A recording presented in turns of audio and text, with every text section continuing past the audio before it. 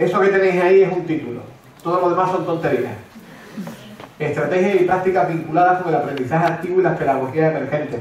Cuando venía para Bilbao no me acordaba si lo había puesto yo o no, porque digo, madre, qué título tan, tan tremendo le, puse. Podría haber puesto algo un poco más sencillo. Vamos a estar poquitas horas hablando sobre temas vinculados con eso en un formato que sea mixto entre una ponencia y un taller. Entonces yo ahora me bajaré y estaré ya en modo, en modo taller. Eh, en ese sentido, pues la diadema es solo una estrategia para que te graben, no tanto porque haga falta que, que amplifiquen. Bueno, familia, de verdad, muchas gracias. Eh, gracias a Eduardo Chegunes por invitarme, por confiar en mí. Gracias también a Miquel por el detalle de venir a, a la inauguración de la, de la jornada. Y sobre todo, gracias a vosotras y a, a vosotros por, por, concederme vuestro tiempo. Eh, bueno, los maestros y los maestros seguimos formándonos y seguimos conociendo a otras maestras y maestros en nuestro tiempo libre, de estas cosas un poco raras en el, en el mercado laboral. Y la mayoría de los trabajadores se forman en su horario laboral y nosotros es una cosa mixta, ¿no? Uno nunca sabe si está aquí disfrutando de su ocio o en pleno negocio. Entonces, bueno, eh, como no lo sabemos, yo os doy las gracias de verdad por haber venido, por haber eh, pensado que, que, se puede hacer algo interesante en la sesión de hoy, porque en la segunda sesión con los, con los centros y sus experiencias prácticas seguro que hay cosas, hay cosas muy valiosas. Uno siempre tiene que tener dudas con el ponente, ese nunca se sabe por dónde, por dónde va a salir. Entonces, en ese sentido, pues muchas gracias por, por haber venido. Eh, esta mañana que he estado un ratito pues, charlando con las asesoras y los asesores del Berriche Cune, he acabado con estas dos diapositivas y quería mostrarlas a vosotras también, a vosotros. Mm, vivimos tiempos de, de, una enorme, de, un enorme nivel de incertidumbre y la incertidumbre a los seres humanos nos, nos, nos desata una serie de reacciones químicas que nos provocan ansiedad y que nos provocan angustia. Bueno, pues Goitisolo, cuando en los años 60 se baja a Andalucía desde su Madrid, eh, porque Goitisolo bueno, pues tenía una vida burguesa convencional y se baja a una Andalucía muy depauperada, pues cuando ve tanta miseria y cuando ve tanta pobreza piensa, esta gente tiene que tener una angustia y un nivel de ansiedad que les tiene que salir por las orejas. Y sin embargo allí conoce a gente pues tremendamente optimista y con ganas de, de transformar realidades. Y entonces escribe la segunda parte de la cita. La angustia es mal pasajero. El mundo pertenece y pertenecerá siempre a los optimistas. Os pongo esto porque creo que venir aquí es un ejercicio de optimismo. Lo digo sinceramente. Es decir, es pensar eh, que, bueno, pues que unas jornadas pueden aportarme algo que me permita ser más feliz en mi trabajo, hacer más feliz a las chicas y a los chicos con los que trabajamos, a los compañeros y a las compañeras de nuestro centro. Es decir, esto es un puro ejercicio de, optimismo. Entonces, en ese sentido, no solo doy las gracias porque me regaléis vuestro tiempo, sino también, como le he dicho esta mañana a las asesoras y a los asesores, gracias por vuestro optimismo. Eh, gracias por pensar que todavía a esto se le puede dar una vueltecita de tuerca que nos haga pues, sentirnos mejor en nuestro centro y hacer mejor nuestro, nuestro trabajo. Dicho lo cual, pues tengo que explicaros algo. Esto que va a ocurrir no es estrictamente formación. Yo os miro y no veo personas que necesiten pues dos o tres orillas más de formación. Se nos ha quedado corta la formación y esta gente que meterle tres orillas más para que maduren. No es ese el, el rollo. No os voy a contar grandes verdades reveladas. Porque además sobre aprendizaje activo, contar verdades reveladas es complicado. Es un concepto que como poco tiene un siglo. Entonces, anda que traer a un tío de Cádiz para que te cuente algo que se inventó hace un siglo.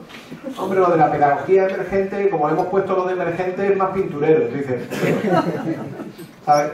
Allí, como están muy cerca de África y la innovación hoy día de África, ya sabéis que se dice que el mundo lo va a cambiar África, pues a lo mejor tal. Yo trabajo en Ceuta además, por ahí, por eso mi color de piel mi pelo rizado. Entonces, lo de pedagogías emergentes todavía dice uno, a lo mejor tiene algo que decir. Pues ni siquiera, ya veréis que cuando tenga que hablar de pedagogía emergente, lo que os voy a enseñar son algunas experiencias de compañeros y compañeras que están haciendo lo que no sabemos todavía definir.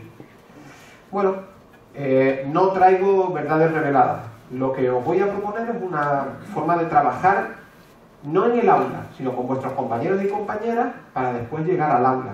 Y lo que vamos a hacer es simular desde ahora un proceso de trabajo, de desarrollo profesional que en el contexto real, es decir, nuestro centro es muy largo y nosotros lo vamos a simular en poco menos de un par de horitas eh, escasas.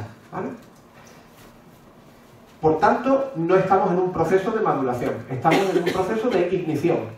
Yo suelto la cerilla y a ver qué pasa, a ver si os gusta algo de lo que os enseñe y os animáis a replicarlo, adaptándolo a vuestra realidad, a vuestro contexto. Ese es mi objetivo personal en la sesión de, en la sesión de hoy. Y claro, ¿qué espero de vosotras? Pues espero también algunas cosas. Espero que cuando tengáis que hablar con las compañeras que os rodean ahora mismo, pues tengáis ganas de hablar. ¿Hay alguien que no tenga ganas de hablar? El compañero que estaba bostezando estoy por mirarlo, pero voy a hacer así con los ojos para que no se siente interpelado. ¿eh?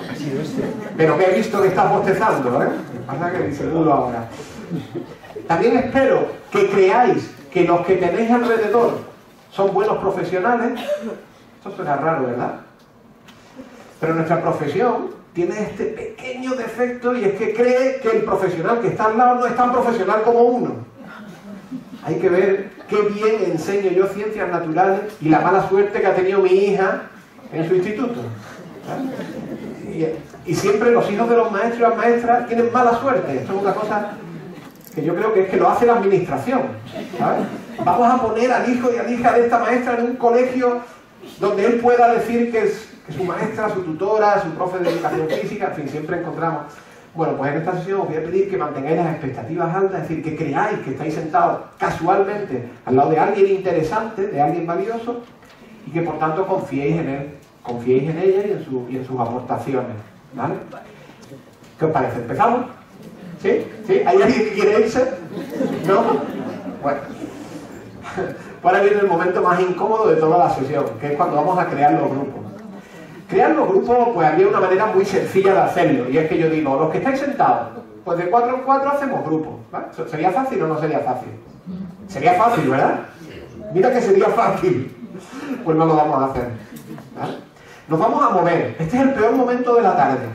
El peor momento. Es decir, la tarde, a partir de aquí, lo único que hace es mejorar. Porque el peor momento es este. El problema que tenemos no es el espacio. Alguien podría decir, jo, con este espacio, ¿cómo se trabaja en grupo? El, espacio no es un problema. El problema es el tiempo. Por dos razones. Primero, porque yo no he tenido tiempo de conoceros y por tanto hacer grupos sin conocer es un truco de magia malo. Entonces, yo necesitaría conoceros para crear buenos grupos. Pero además es que solo tengo escasamente dos orillas para hacer algo relativamente complejo. Con lo cual vamos a utilizar un criterio muy rápido y azaroso. Vamos a meter el azar. Que es justo lo que no hay que hacer cuando estamos en un contexto educativo. El azar es mal, mal consejero, es mejor conocer a la gente para hacer buenos agrupamientos y además que los agrupamientos vayan cogiendo un cierto, un cierto pozo. ¿Vale? Os he contado, y estamos rondando el 100. ¿vale? Rondando el 100. Entonces vamos a crear grupos de 5 personas, ¿vale? Y lo vamos a hacer tirando de nuestra competencia matemática. Es decir, que nos vamos a numerar, ¿vale? Nos vamos a enumerar, ¿vale? Vamos a hacer, por tanto, 20 grupos de 5 personas. Entonces nos vamos a empezar a contar del 1 al 20. Competencia matemática nivel A1. ¿Hay alguien que necesite una adaptación curricular? No, digo de verdad. Si hay que hacerlo. para mí hay un concepto que es fundamental. Me voy a bajar ya porque ya se ha acabado la ponencia. ¿Qué os ha parecido la ponencia? ¿Sí? Por ahora, bien. Pues ya se ha acabado. Veréis, hay un concepto para mí fundamental. Que yo expreso una pequeña frase, que es coherencia en los espacios formativos.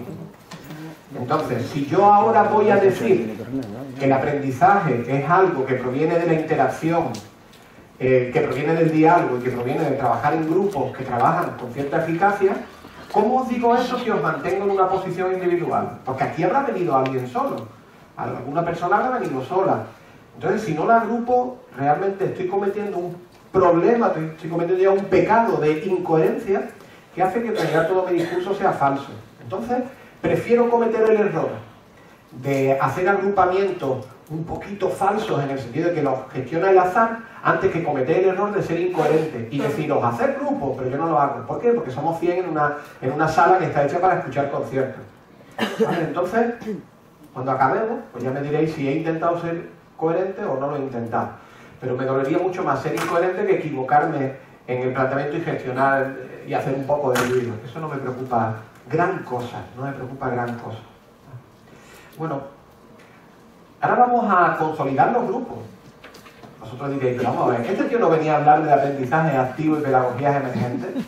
Bueno, pues aprendizaje activo y pedagogías emergentes empiezan en la gestión del grupo. Y un grupo que no se cohesiona, aunque sea mínimamente, pues no funciona bien. Eso todas las que estáis trabajando en entornos de aprendizaje cooperativo lo sabéis. Vamos a hacer una estructura cooperativa, la más sencilla. A entrevista B, B entrevista A. Lo que ocurre es que, bueno, pues somos un grupo en una disposición horizontal. Esto pues va a complicar un poquito el, el tema. Vamos a hacer un pequeño simulacro, ¿vale? Un pequeño simulacro. Pero un pequeño simulacro que me viene bien para decir que los grupos de trabajo en el aula y los grupos de trabajo de profe en el centro, en los cuales no se invierte tiempo, no se les puede pedir después eficacia. No puedes pedir rendición de cuentas cuando no has invertido tiempo en cohesionar el grupo. Por eso vamos a hacer la entrevista. ¿vale? La entrevista va a ser muy sencilla. Y Miguel Irene y yo vamos a repartir una cartita. ¿vale? En principio, lo que vamos a hacer es que aquí hay una serie de preguntas. Alguien del grupo va a ir leyendo las preguntas y, vamos a hacer una pequeña ronda y las vamos a ir contestando. Y vamos a intentar conocernos a través de las preguntas. ¿vale?